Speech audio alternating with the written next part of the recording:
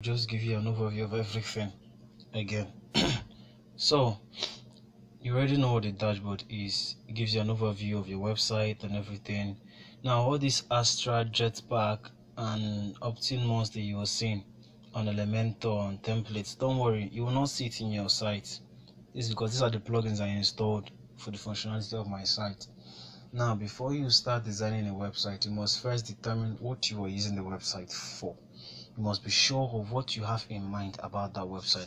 Because it is what you have in mind about that website that will now determine the, the how your website will look like. That is the appearance of your website and also the kind of plugins you put in it.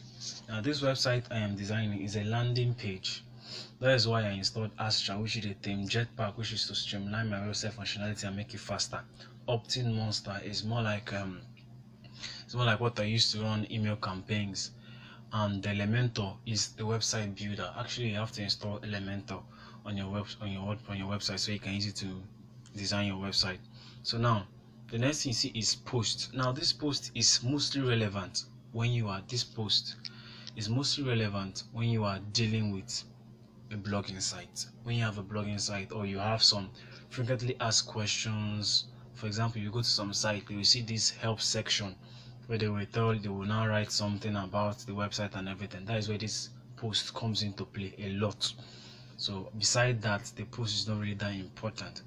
Then we have this media. This media is like all the in all the images all the videos that are in your website. Now these images and videos can be the one can be the one that comes with your theme which comes with your, when you install a theme it will come with it. Or it might be one that you you put it download upload into the website when you are designing the website. I've explained that before. Now this is your pages. Now the pages are like the different parts of the website you communicate with. When you try to add a new page it looks like when you're trying to design um what are they calling when you're trying to design a normal post yeah it looks similar to it but it's not. Page are like you interact with the pages like you can perform multiple functions on the pages like you can click on the button on the page you can watch a video on the page on all those kind of things. So we'll go into how to edit the page in further videos. Then comments.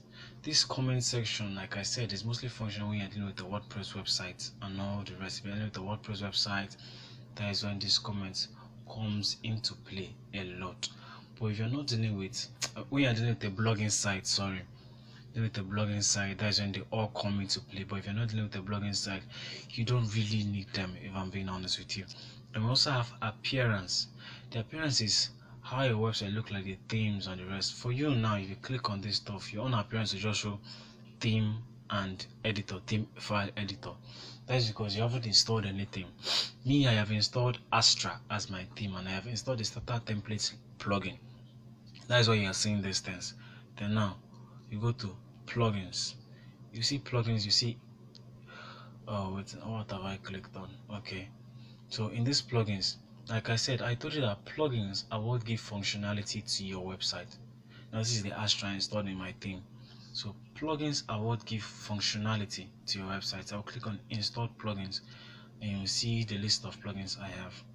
They give functionality to your website. That won't make your website functional. The appearance are like the front end of your website. The plugins that won't make your website functional.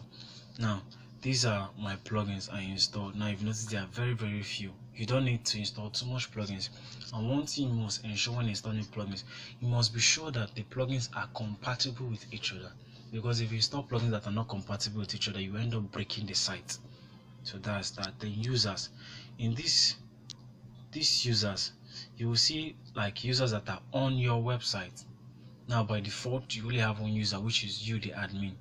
But if you want someone else to have access to your website you can add a new user to your website. I will still provide different videos on all of that. This is just an overview so you can understand what this thing is then we have the tools in these tools now you see a lot of tools you can use to do some specific things to your wordpress website you can use to you can actually download your wordpress website into a file you can import that is why you say export you can import a designed WordPress website into another WordPress website and all of that.